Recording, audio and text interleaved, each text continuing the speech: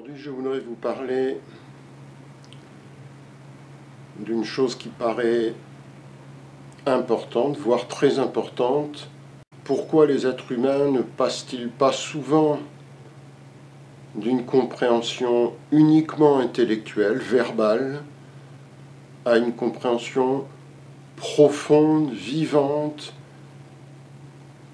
qui les transforme entièrement? Pourquoi restons-nous au niveau des mots, au niveau des descriptions. En quelque sorte, nous sommes comme une, un ordinateur qui enregistre des données d'un problème, des informations, et en fait nous en restons là. Nous accumulons ces informations dans notre mémoire, et quand on essaye de comprendre quelque chose, on ressort les informations, qui ne sont juste qu'une description. Nous confondons naturellement la chose décrite et la description. Donc je voudrais ce matin faire une analogie entre l'être humain et les plantes. Vous m'excuserez pour cet exemple, mais je pense qu'il est intéressant. Les plantes, tout le monde le sait, se nourrissent de sève, bien évidemment. Par contre, peut-être tout le monde ne le sait pas, mais certains le savent naturellement. Dans les plantes, il y a deux sèves. Il y a la sève brute, qui vient des racines, qui monte dans la plante, et à travers la racine, la sève brute absorbe des éléments minéraux. Cette sève monte dans la plante et arrive aux feuilles, et là, il se passe une chose assez extraordinaire.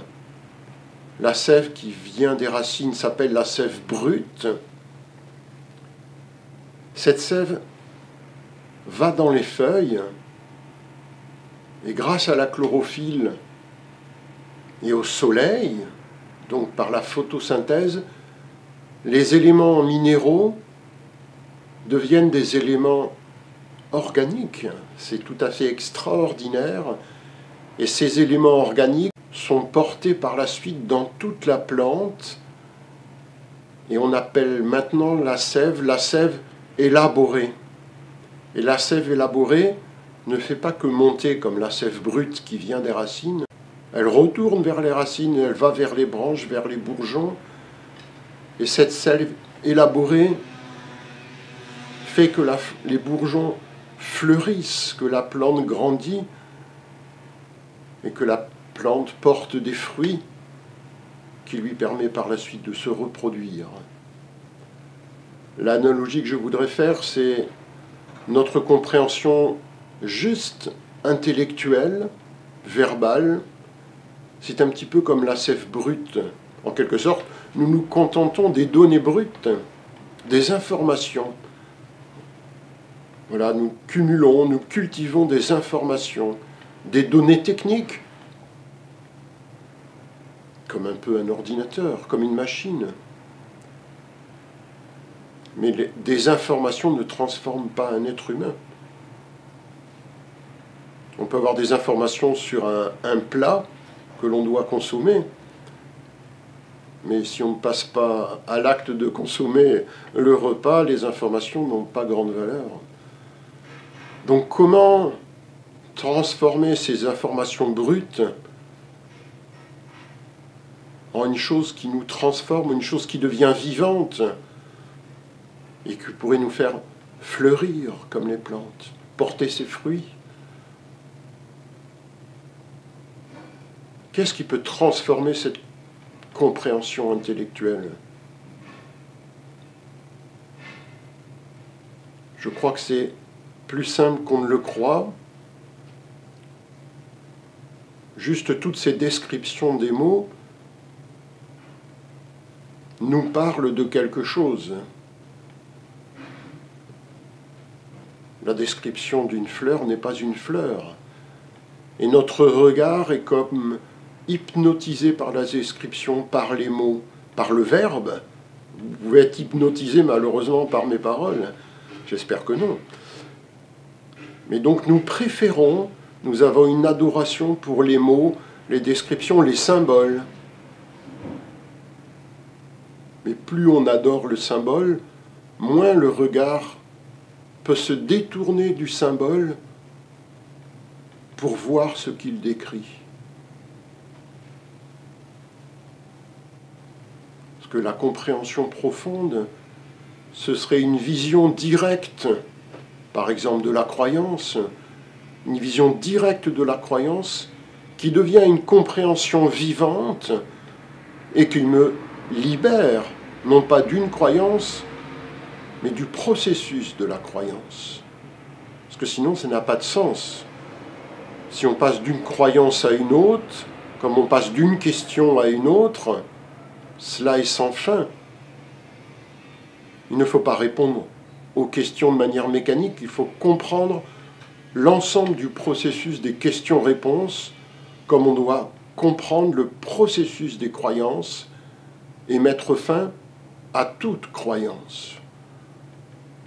La compréhension vivante, c'est la fin de quelque chose. Le printemps naît dans notre esprit quand nous finissons quelque chose. Il faut finir l'hiver pour que fleurisse notre vie.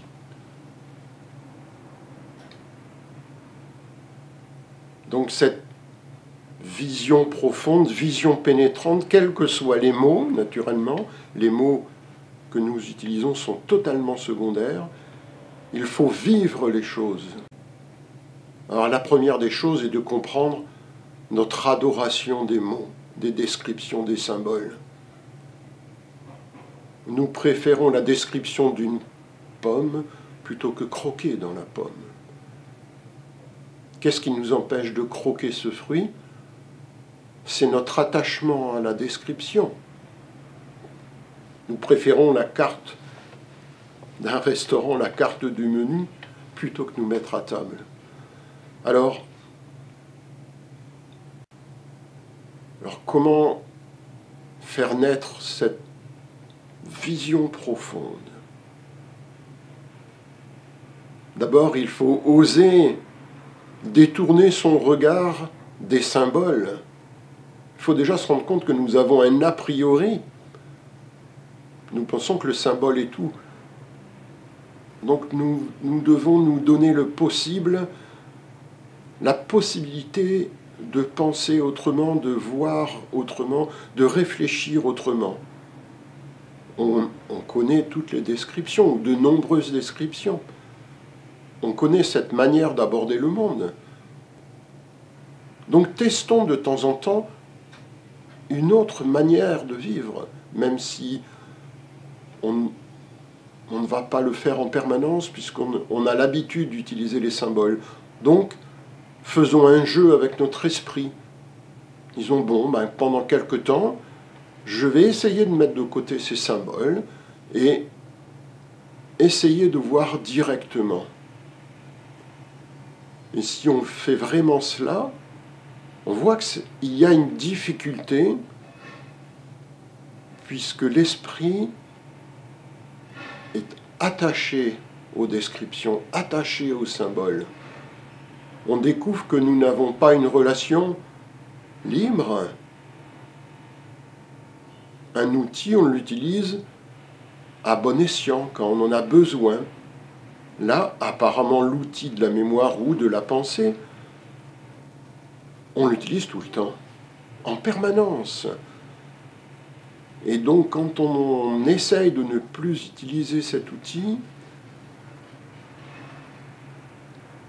on se rend compte qu'il y a une grande difficulté et nous avons l'impression, ce n'est qu'une impression, qu'on ne peut pas s'en passer, mais ce n'est qu'une impression. J'ai bien peur que ce soit juste la pensée qui dise à l'esprit, il n'y a que moi, tu ne peux pas faire autrement, je suis l'esprit. La pensée dit ça. Et nous sommes persuadés de cela.